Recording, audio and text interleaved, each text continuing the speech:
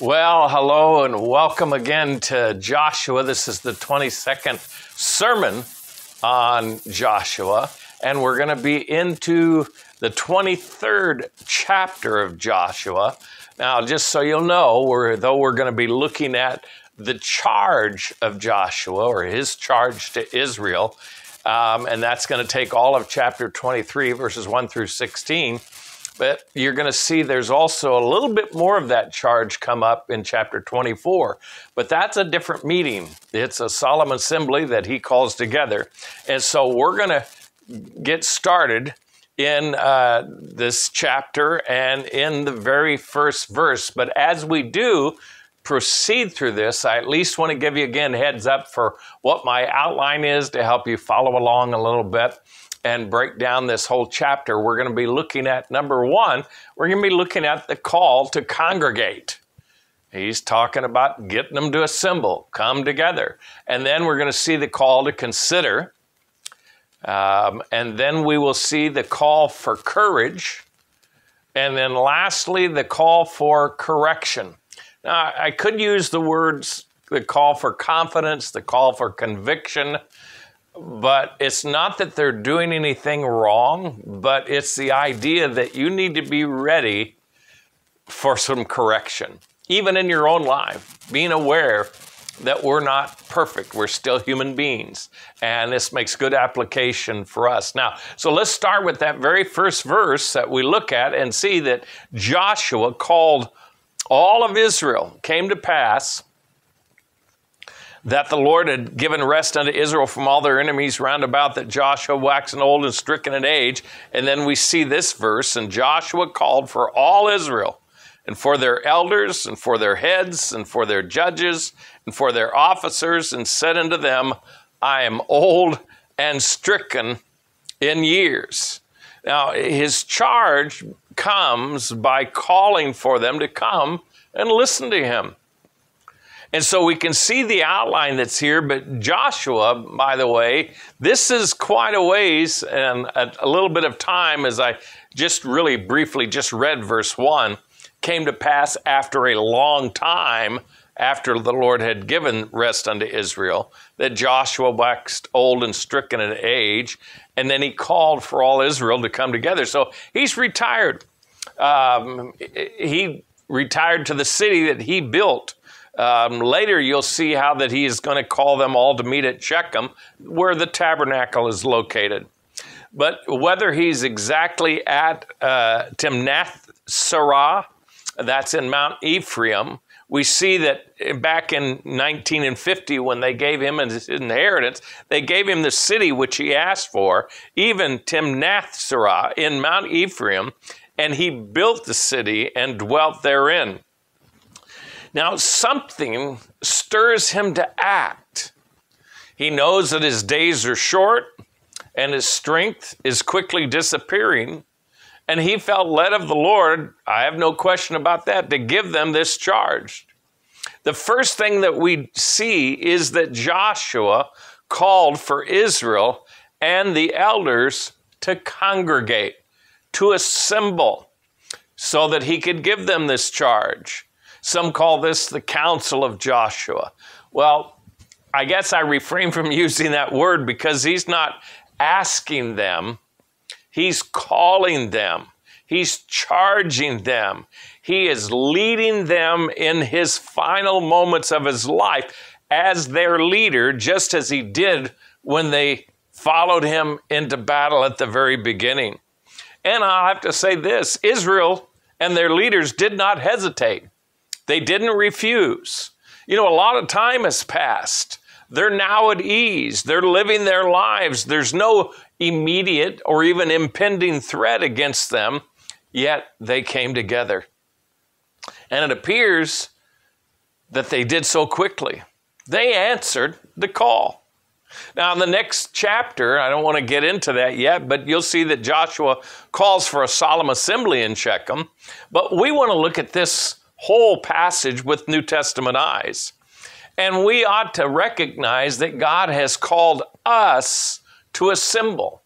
In this day and age anymore, people are forgetting what a church is. It is an assembly, a called out group of saved, baptized individuals that are given a responsibility to gather together on a consistent basis. And I'm going to tell you, God wants you to congregate. Now, that again, that's what the assembly is by definition. Now, I know that if you're hearing me, you're not congregating. You may be at home, you may be congregating around your TV or your computer, but I want you to know that's not enough. You need to assemble with the body that God has called you together with. So a church is a particular people who assemble because God has called them to assemble, to congregate. So let's get back into our study. But remember, there's something about assembling. There's something about congregating. God has promised, Christ has promised, where two or three are gathered together in my midst, in other words, where they are gathered by my name, in my authority, that's the assembly. He's there with us. There's something special about the assembly and about assembling together. Then we see the call to consider. That we're going to look at back in our text in verse 3. We're talking about this, which is the call to consider or to remember or to recollect. We, and he is calling for them to remember this list of how God has blessed them. He isn't just rehearsing his, the history of Israel for the sake of recollecting history, but he is reminding this particular generation and he is forming the future generations that Israel is a nation like, unlike any other. He wanted them to see that God, Jehovah, is their God, and he wants them to see what God has done for them. He wants them to see all that Jehovah should mean to Israel. Look at what he says, and ye have seen all that the Lord, that's Jehovah, how that Jehovah, your God, this is a personal relationship. He wants to remind them that Jehovah has done all these things for you. He has all that the Lord had done to you and done unto all these nations because of you. For the Lord your God, he it is that hath fought for you. He is calling for them to consider their personal relationship with God as a nation. In the same way that you and I, when we come to gather together as an assembly, a New Testament body, we are called upon to remember, to recollect, and even list the blessings that God has done for us the religion that they practice is simply a means of teaching them about the means of reconciliation. It's about teaching them about redemption and then the resulting relationship of that redemption. He is reminding them, he's calling upon them to remember. And what does he do? He talks about the accomplishments of Israel, the victories of Israel over all of the other nations, stronger and mightier than them. You'll see it a little bit later in a verse. Well, actually, he won't because I'm not going to put it up there, but he talks about how that one of you chased a thousand. Remember that? Remember the might, the power, the strength, and everything that was there. The Lord fought for you. And we will see how God is calling upon them. You'll see it in verse 5. He's calling upon them to continue to fight and let God fight for them. You see, that history that they have goes back to being freed from Egypt, where they were once enslaved and then promised their own land. It includes those first 40 years. But for this generation in particular, it includes the last several years with all the battles Remember the battle at Jericho, Ai, Bethel, Jerusalem, Hebron, Jarmuth, Lachish, Eglon, Makkedah, uh, and all of the others. I'm not going to list them, but I think you get the picture. In all of those, they only had one loss. And once they corrected that failure, they did not have any other losses. Zero, zilch, nada, not one single loss. Brethren, today we're talking about the fact that we should assemble. and for the church that we're going to be meeting with on Sunday. Listen, we have assembled. We need to recollect the victories that God has given to us. We sing a song, in fact, which encourages us. One of my favorites. Count your many blessings, name them one by one, and it will surprise you what the Lord hath done. Sometimes we can get down in those molly grubs. We can be depressed, disappointed, disaffection, some other problem can run over us, it seems. But when we gather together and we begin to rehearse all that God has done for us, it can lift us up. It can encourage us and remind us that God has blessed us. God has quickened you, hasn't He? God sanctified you, hasn't He? God has justified you. God has given you His Spirit. God has given you spiritual understanding, and He has given you a guide to lead you on a daily basis.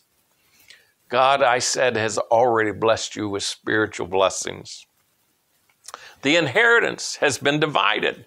Verse 4, he says, Behold, I have divided unto you by lot these nations that remain to be an inheritance for your tribes from Jordan with all the nations that I have cut off, even unto the great sea westward.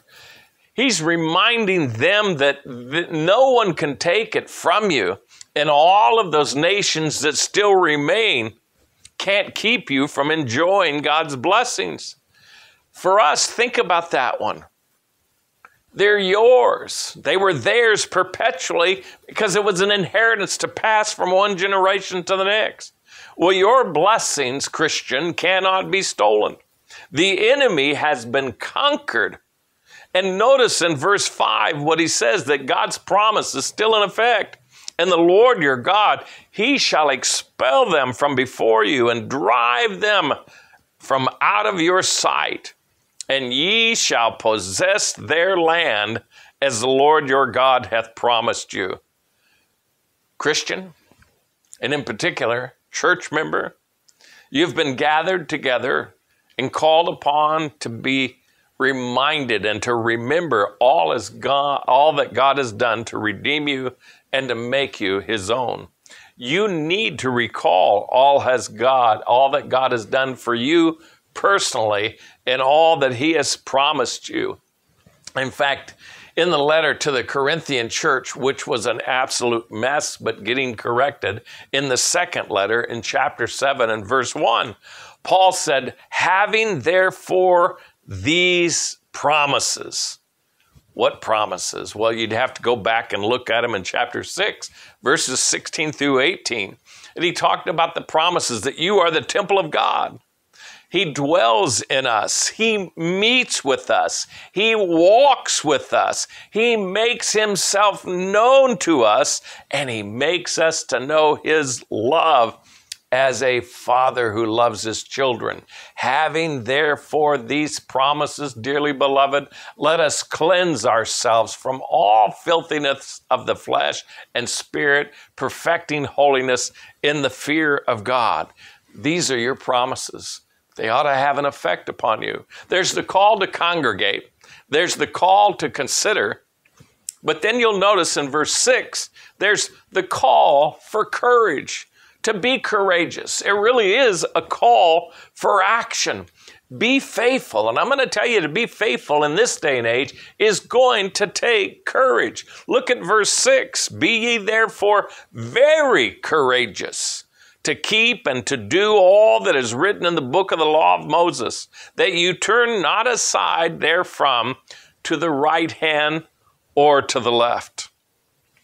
For you and I, Christian, today, this is a call for our obedience, not in order to be saved, but because you are saved, because you are already a child of God. And that call is a for a Christian is for the courage not to deviate. Don't depart from the path of separation. Stay true to Jehovah and do not allow yourself to become polluted through those other nations. That's what he says in verse 7 that ye come not among these nations. these that remain among you. Stay separated from them. Neither make mention of the name of their gods, nor cause to swear by them, neither serve them, nor bow yourselves unto them. Listen, even in our nation today, there is a rejection of our God and the Word of God. We ought to remain separate from the heathen practices, the customs from their gods, and remain faithful to Jehovah. Verse 8, what does he say? But cleave unto the Lord your God as you have done unto this day. You've been good so far, he's saying. Now stick with it. Stick by the stuff. Remain faithful to Jehovah. Adhere unto the Lord who has given you victory and super, supernaturally enabled you. Stay joined with Jehovah. Don't cleave to the remnant of those gods. That's the same word there for adhere in verse 12. Don't become ensnared by their heathen practices, their customs, or their gods. This is a mandate. This is a charge. This is a call from Joshua to live the life of faith that you have been given. Walk with your God, follow your God, serve your God, and do not in any way become connected with these heathen customs or their gods. Remember, and that's what verses 9 and 10 says For the Lord hath driven out from before you uh, great nations and strong, but as for you, no man hath been able to stand before you unto this day. One man of you shall cleanse a thousand for the Lord your God. He it is that fighteth for you, as he hath promised you. That one verse gives us insight in how they were battling against all these nations. Can you imagine how that one man chased a thousand? I don't think that's figurative, I think that's literal.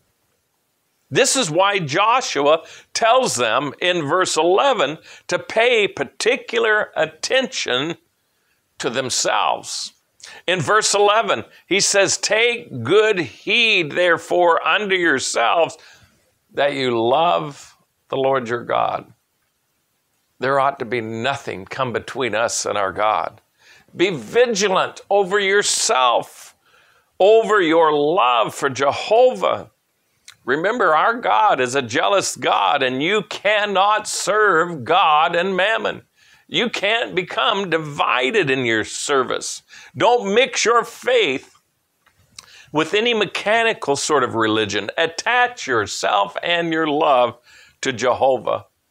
We see it in the New Testament where Paul was writing to the churches of Galatia, and he told them to stand fast, therefore, in the liberty wherewith Christ hath made us free, and be not entangled again with the yoke of bondage.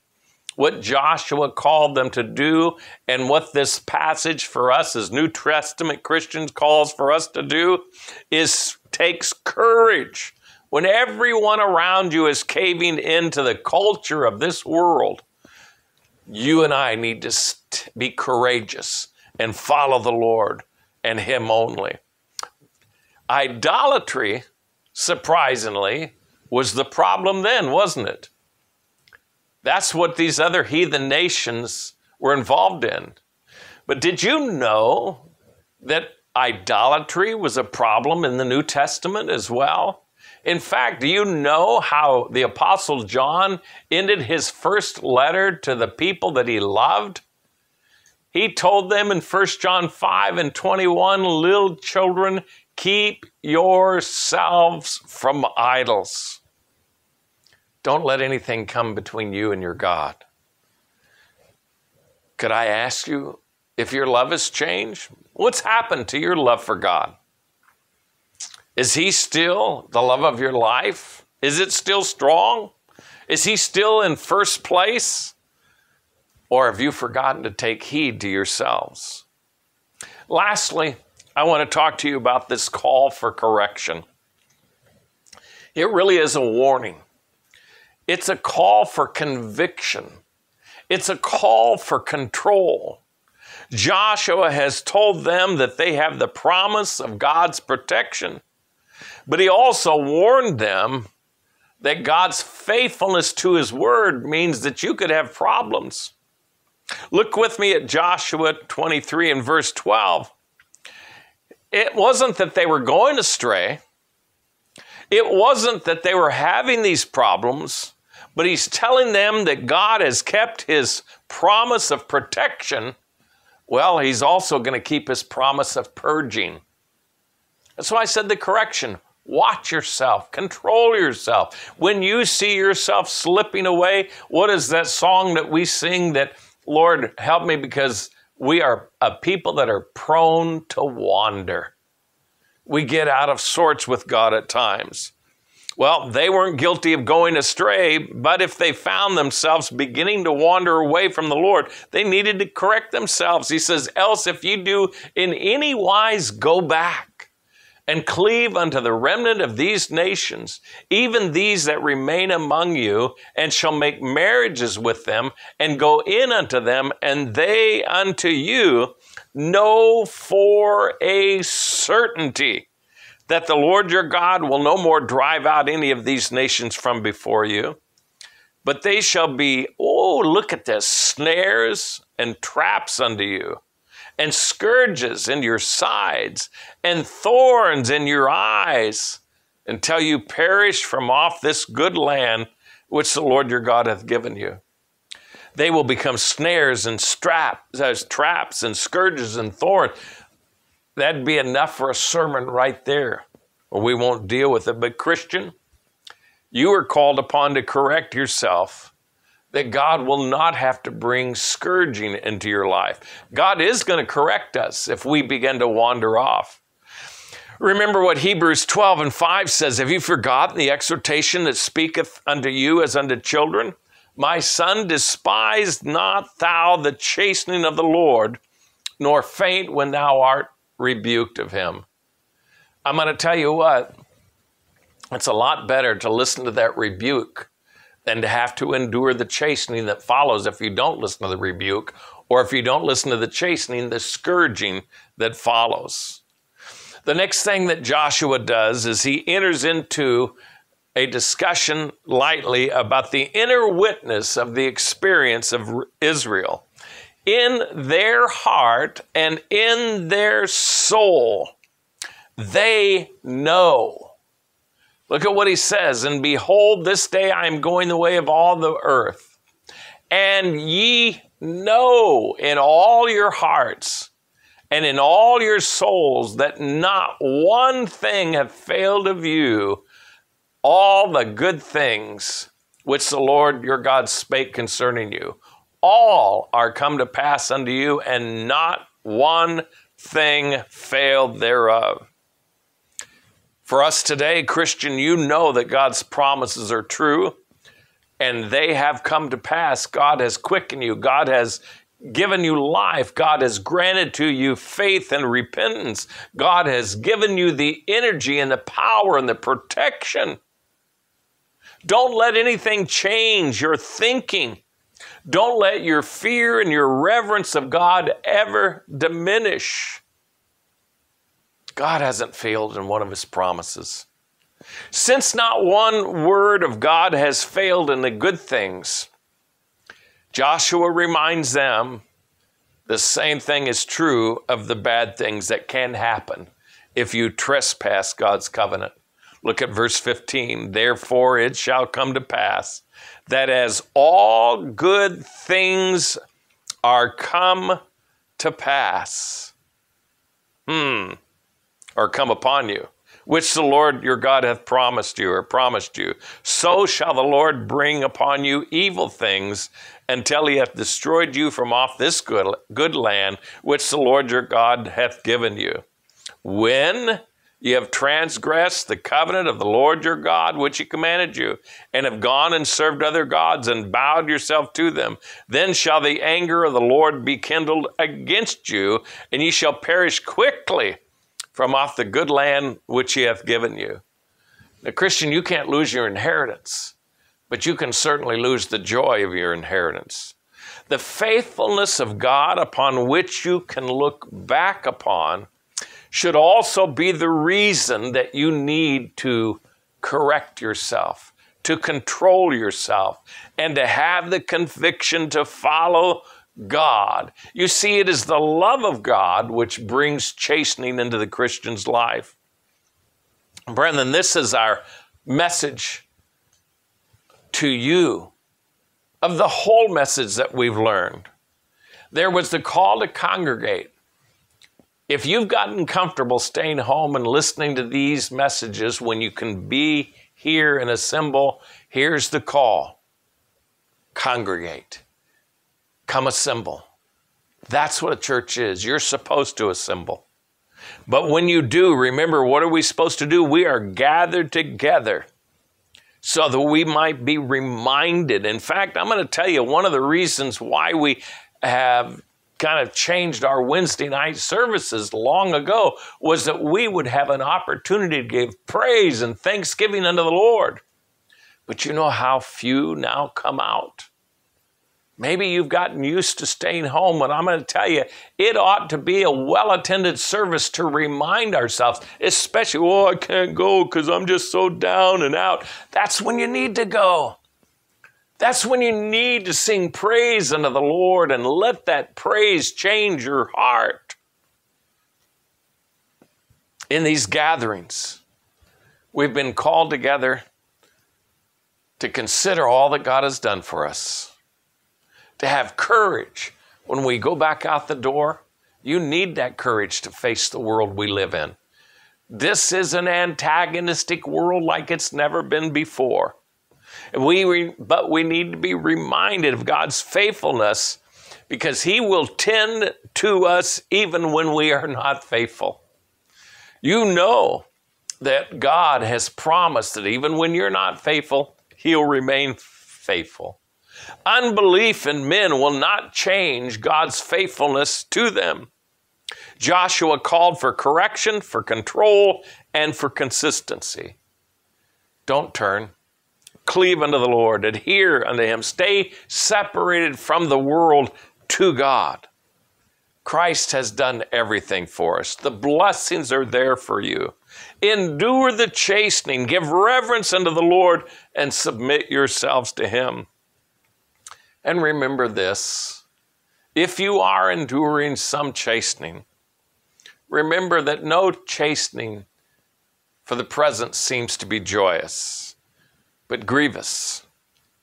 But it also serves a profitable purpose.